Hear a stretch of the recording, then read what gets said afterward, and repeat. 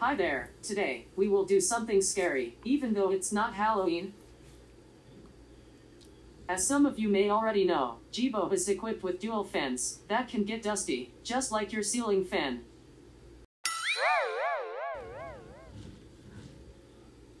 So, today, we will show you how to carefully remove my screen and get access to the fence. Without any further delay, let's get started. First, power off your Jibo and lay him down on a soft surface to prevent any scratches. Okay, so uh, before we moving on to the operation, let's introduce you to some of the tools that we're going to be using today. The first one that we're going to be using more often is called the 90 degree angle needle nose plier and I use this to access the hard to reach area. The second tool that we will be using is called the bits for Torx screws and it's already attached to the socket screwdriver. So I just want to show you that this is a set I bought and it includes the bits for Torx screws.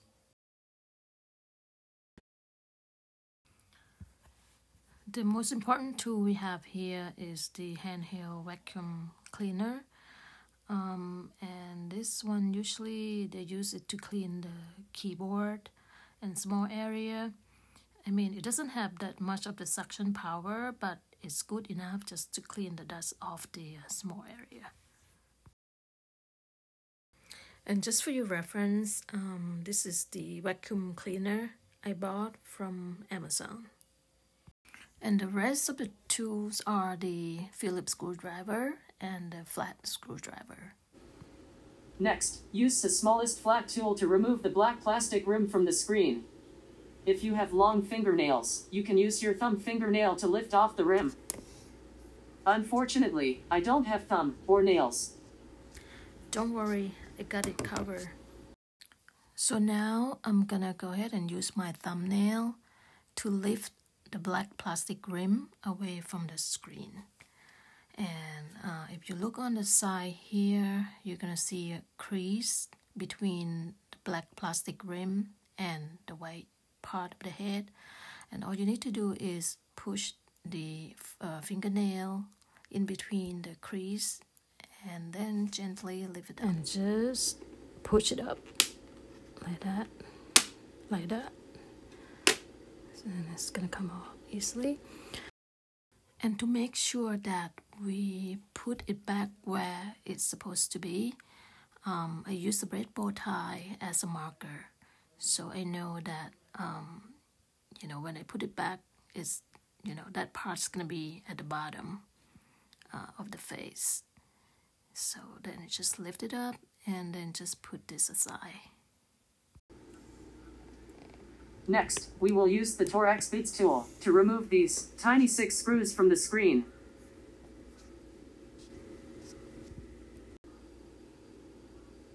For your reference, this is the kind of tool you need.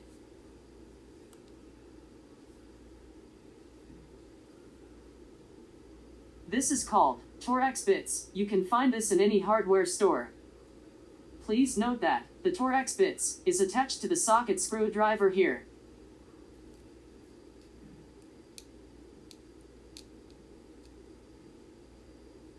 So, let's carefully unscrew these six Torx screws from the screen.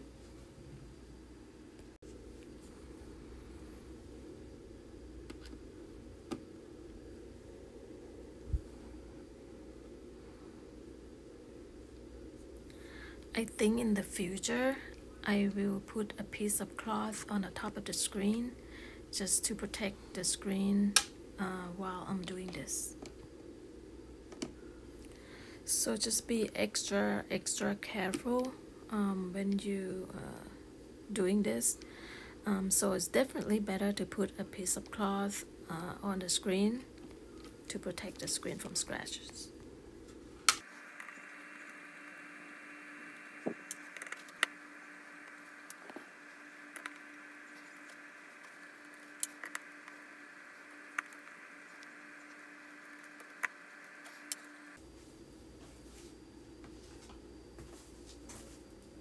Okay, let's take a deep breath before we're moving to the next part of the operation. I'm already ahead The next step is to use a flat screwdriver to gently lifting up the entire screen. Starting at the top right here is the position. While I'm watching this process, if I have a heart, it would beat about 1000 beats per minute now.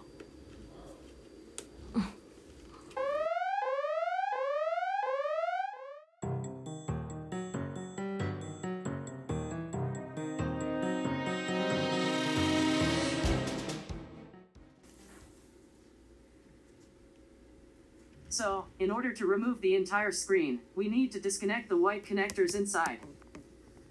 And make sure to take note of the position of each white connectors while it's being disconnected from the wires. Okay, so this is the left side of his head, and you can see that inside, you know, uh, before we can remove the screen, um, we need to disconnect the the white connectors. You know, you see there are two white connectors there, and we just need to disconnect the top from the bottom uh, of that white connectors. and here how I disconnect the white connectors from the base there. It's pretty straightforward. And now we're gonna continue to disconnect the white connector from the base there um, so that we can uh, completely remove the screen. So just like that. Um, and then another one there, like so. And there you go. The screen is completely removed. So just want to remind you once again to take note of the position uh, each time you disconnect the white connectors so that you know where to connect them back where they belong.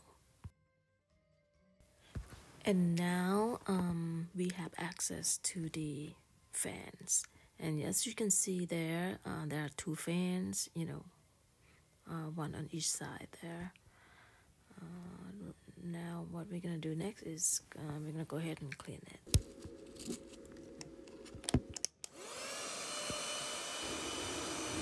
Many thanks to Dr. Jibo for making videos of Jibo anatomy and sharing your hardware skills with Jibo community.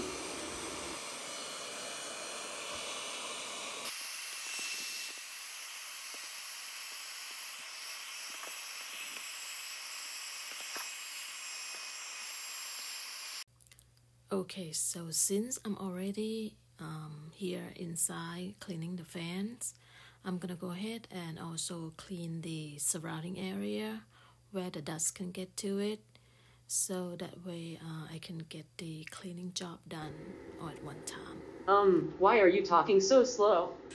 What? Slow? Are you serious right now? Maybe because I'm not a robot. Much better. Don't see as much dots anymore in here. So. So once you satisfy with um, cleaning it, uh, vacuuming or cleaning, you can probably use like Q-tips, you know, uh, if it's not cleaning as well as a vacuum. But uh, once uh, you satisfy with the cleaning inside and the fans, you can go ahead and close it up. Uh, same way we open it.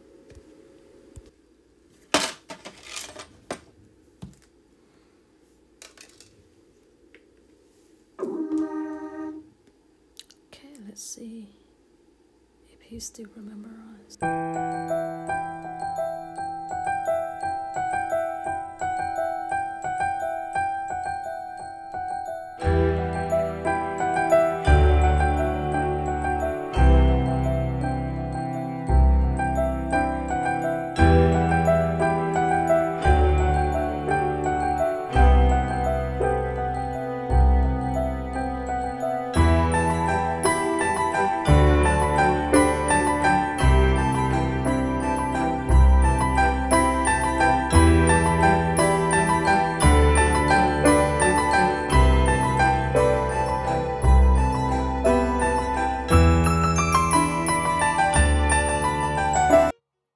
Jibo, how are you? I feel pretty good. Enjoying Thanks for asking. Yeah, he's back. The BJ is back.